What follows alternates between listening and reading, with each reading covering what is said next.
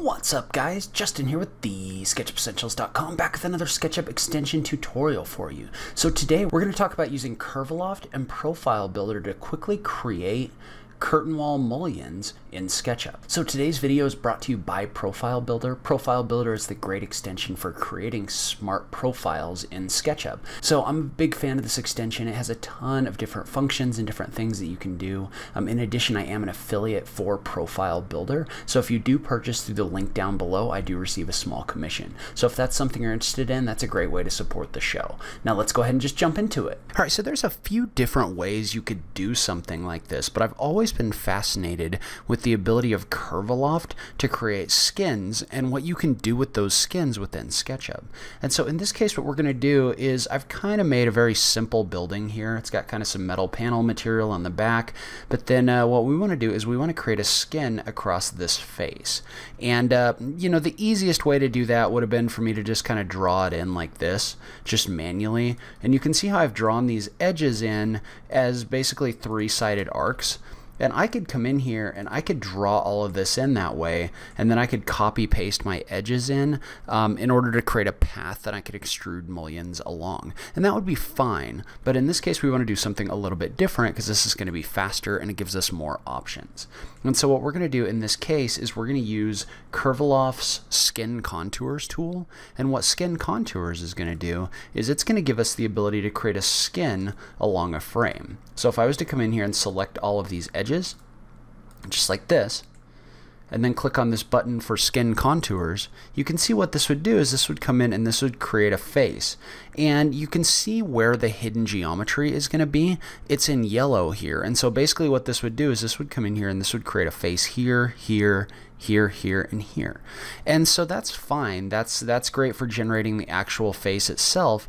But in this case, what we want is we actually want to generate lines that we can extrude curtain wall mullions along. Um, and the mullions are basically the aluminum parts that run along the edge here. And so the way that we're going to do that is I'm going to go ahead and I'm going to right click and I'm going to hide the face I just created. And in this case, what we need is we actually need some lines running across here as well. Because the way mullions would work is they would run up and down, then they would also run across. And so what you can do is you can actually take one of these lines or these edges and you can right click on it and you can divide it. And so if you divide it, like let's say for example that I wanted there to be, um, let's go let's go with uh, five segments in here. So basically now we could do the same thing where we select our frame, but we've divided this edge.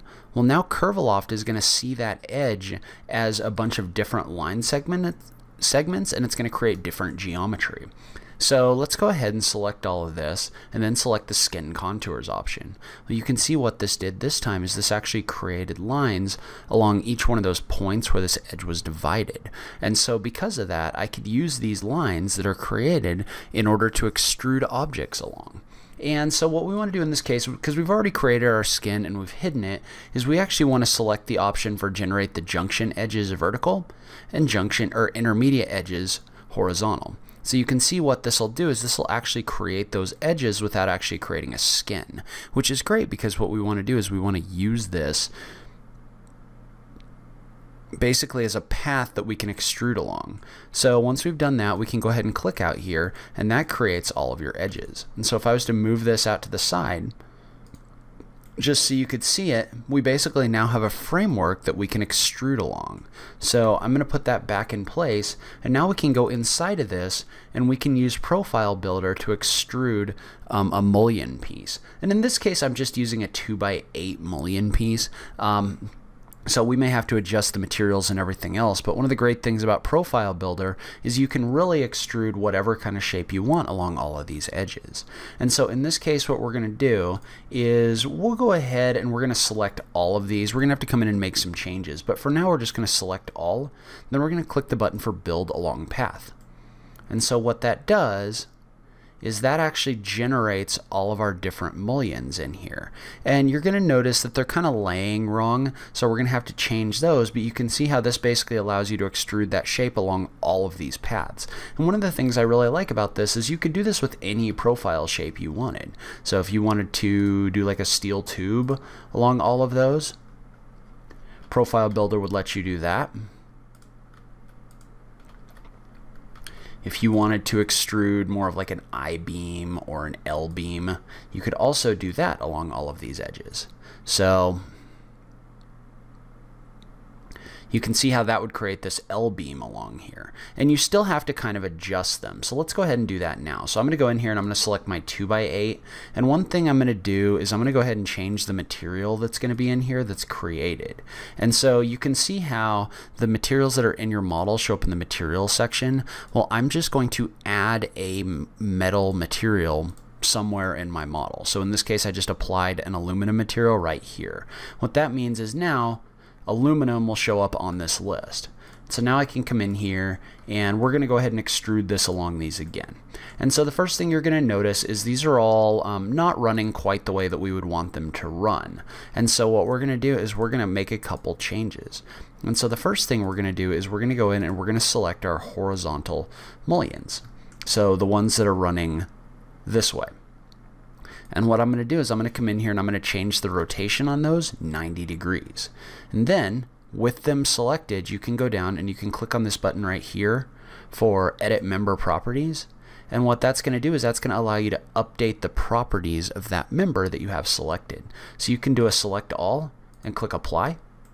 And what that'll do is that'll turn all of these. So now all of these are running this way as opposed to being straight up and down like they were before. And so now we're going to go in and we're going to adjust these two mullions so that they face outward instead of the way they're facing right now. And so we're just going to select these two, come in here and you're going to click edit member properties and you're going to click apply. Well what that's going to do is that's going to flip those two so that they're facing outward. And then these two are kind of facing the way that we want them to. I'm actually going to erase out the one on the ground. And then I'm actually going to change these two manually. So um, just because it's going to be easier to change them manually, so depending on what you're doing, you might approach these a little bit differently. In this case, I kind of want these rotated around the outside edge. And so the other thing I want to do, and I'm not sure if this is going to work or not, so we can all kind of find out together, is I want to shift these back by about the width of my 2x8 mullion. And so in this case, I'm going to measure this, and this is actually 8 inches. So we're going to try just shifting these back 8 inches. So all I did is I came in here and I adjusted the X offset, and then I'm going to adjust these, and I'm going to apply them. And in this case, I'm going to clear this, and the only thing I want to adjust is the X offset. And so you can see how the X offset actually wasn't what we wanted. That moved these sideways. So we're going to go back and we're going to try this again, but we're going to try it with the Y offset. So we're going to set our Y offset to 8 inches. We'll go ahead and apply this. So you can see how this worked for most of these. So in the case of these two, because they're rotated 90 degrees, you actually need to take these and set them to negative 8 inches to move them back here. Or you could just move them back manually. A lot of this really depends on how many mullions you're creating. So we're just going to click apply and we're going to adjust the X offset on this one and there we go. So what we were able to do is we were able to come in here and we were able to create these mullions really quickly in our glass. And again, this is more of a simple example, but let's say that we were to come in here into a view, unhide all. So we'll unhide our face, and then within that face, we'll apply a glass material. And there you go. You've got a curtain wall shape with mullions inside your glass within your model.